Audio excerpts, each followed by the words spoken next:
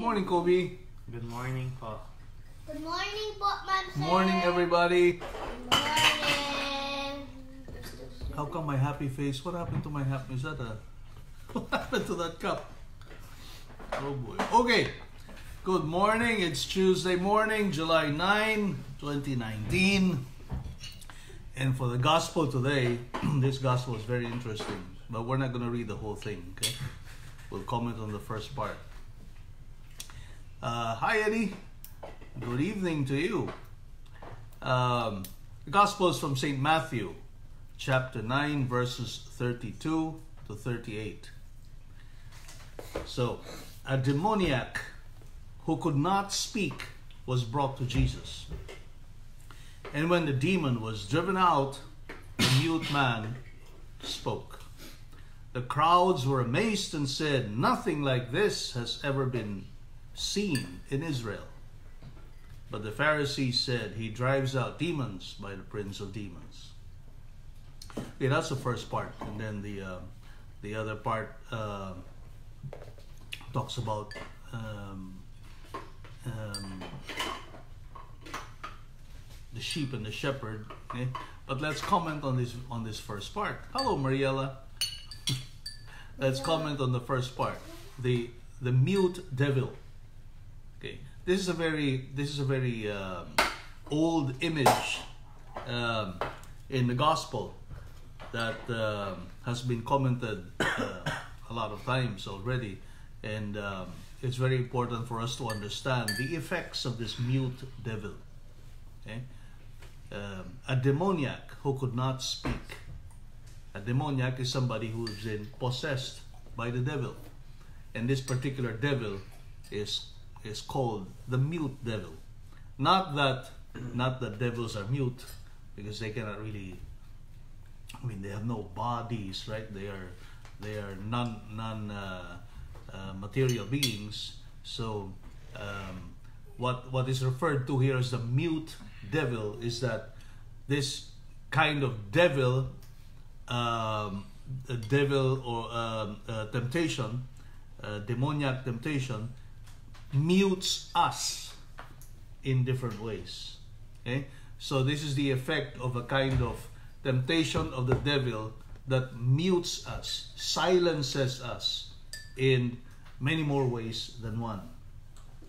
So, in what ways does the devil mute us or silence us? And what in us does the devil or the presence of sin in us get to mute about us, get to silence about us? Okay. The first thing that the devil or that sin does, let's just talk about sin in general because that's what this is all about. The first thing that that uh, sin mutes in us is the intellect. Our mind, our intellect, our way of knowing things. Okay? When we are in a state of sin, the devil tends to mute that intellect. Tends to it tends to silence the intellect so that it does not become curious about finding out the truth. Okay? It silences the truth in us. It blurs our intellect to the extent that we cannot see through about what is true and what is good. See? We get to have blurry vision intellectually, and we are not able to understand truth. Okay? That's one of the muting effects of the devil. The second muting effect of the devil has to do with the will, with our will, with our power to do, to work, and to to to uh, to perform good acts. Okay? Because if you cannot see what is true and good intellectually, okay, then the will has nothing to act on. The will does not has no material to be able to do good things by because in the first place our intellect does not see what is good and true with things. Okay? So the second muting has to do with the will, the power, the, the capacity to actually do good. And then there's also the physical muting. that happens with sin. We become physically, even physically, lazy. Instead of being active in pursuing the good things we need to do in life, we tend to be lazy about it. Even lazy about spiritual things. That's why there's the sin of sloth. Right? So that laziness, which which is uh, a bodily tendency, it's a tendency of our bodies to be to be less active in pursuing the things that are good, in pursuing to do good things. Okay? Even physically, we get weakened. See? The devil mutes our physical strength so that we uh, we feel lazy and we don't want to work and we don't want to do our chores we don't want to do our studies we don't even want to get out of our way to help others see that's all part of the muting of the devil now a, a fourth kind of muting which is kind of combination between the intellect and the wills muting right is the muting of our conscience that ability to make a judgment between what is good and what is bad. Okay? And and the muting of the conscience that will uh, not help us to to understand the causes of our sinfulness. It we, we don't it mutes our you know the sense of uh, urgency and agitation when we are in a state of sin. You see, people whose consciences are not muted by the devil, they feel agitated. There's a kind of uneasiness when they are in a state of sin. They want to they want to confess that right away. They want to get rid of that sin. But that's what the devil does not want to happen.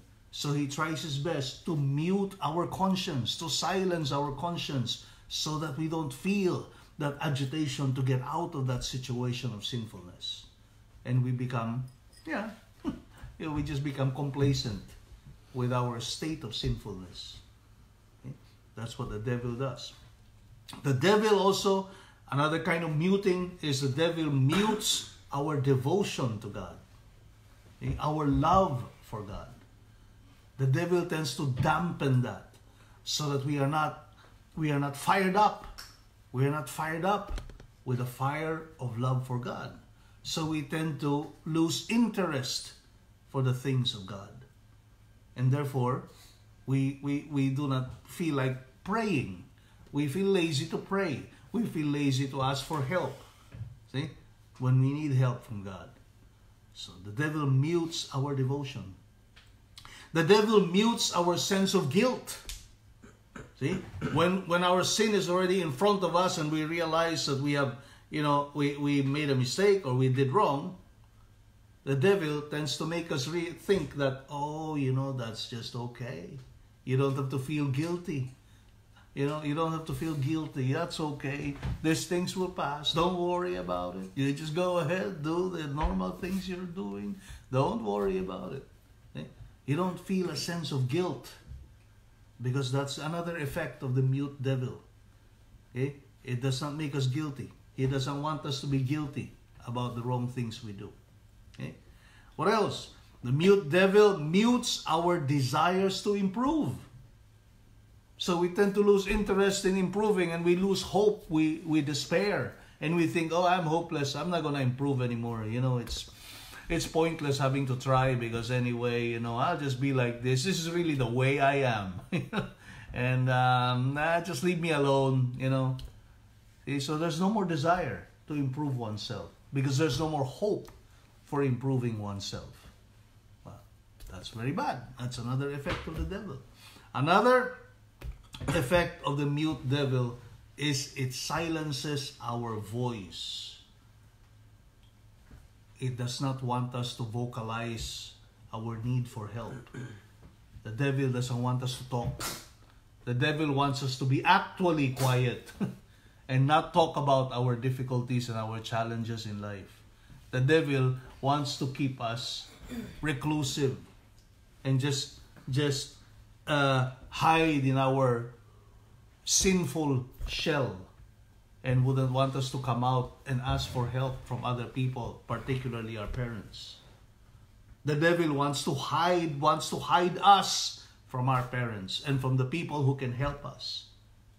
So, the devil will put all sorts of shame in our soul that we don't want to talk about our our sins. And then, and then that, that's not only about asking help from people, that will also include not being sincere in confession. That will also include now hiding things from the priest because we are stupid to think that uh, the, I, I, want, I want to protect my reputation. I don't want to the priest to know that I am this bad. Okay? Uh, erroneously thinking that the priest will will will will mind these things you're telling him in confession and and will will uh, will remember your sins. Of course not. The priest cannot do that. The priest is committing uh, a mortal sin if he will remember your sins. So there's really no point being shy or ashamed to admit your sins to the priest right? But the mute devil that's what he will do. He is going to load up all sorts of shame on you so that you keep it to yourself you keep your sinfulness to yourself and you don't talk about it. Okay? You cannot even admit it in confession. See? And that's what the devil, the mute devil, does for us. And look what happens. When the demon was driven out, the mute man spoke. Like magic, right? the mute devil was taken out of the mute man. Oops! All of a sudden, the guy came back to normal and had life again. Life was restored in many different ways from his way of looking at the truth, his intellect, his will, his conscience, etc. Uh, came back to him after getting rid, after Jesus got rid of that mute devil. So we too have a solution, right? Get rid of the mute devil by going to Confession, Kobe. Very good. Confession. That is our modern miracle. Okay? Jesus may not be around us anymore to take that mute devil out of us, but the priest is always there in the confessional. We can always go to confession and ask that help so that that mute devil gets out of us. So that by the absolution of the priest in confession, we get rid of that mute devil and restore the life of grace in our souls. Okay? So let us let us always uh, take good advantage of confession and make a real, real, sincere confession every week that we go to confession. Right? That's what we need to do. Try to be very sincere all the time. Make a good confession. And lastly, lastly, on a daily basis, let us try to avoid occasions of sin. Okay? We all know what what our triggers for sin are. And if we don't if we still don't know that by this time, then that means we're not doing a very good examination of conscience every night. Okay? Because if we do a sincere examination of conscience every night, and if we do a sincere examination of conscience before going to confession every week, then we will know what triggers us to sin. Well, those are the occasions of sin that we should avoid every day. The struggle begins there. Okay? In the daily avoidance of the occasions of sin. That way, we will help ourselves. That way, we're pushing away that mute devil far away from us so that he does not succeed in tempting us and pushing us to sin. Okay? Very good. That's it for us, everybody. Have a good day. Bye. Bye.